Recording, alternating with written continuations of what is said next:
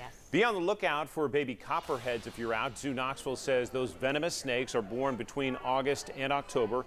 Typically, you'll find them in wood piles and other cover in low elevations.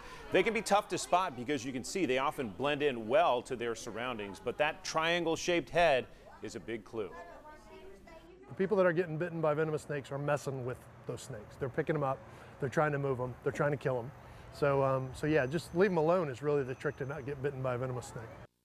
That expert says baby copperheads don't pose any greater danger than the adult pit vipers. The other venomous snake in East Tennessee is the timber rattlesnake. They have a clear warning system when you get too close. That rattle. Mm -hmm. Well, still to come.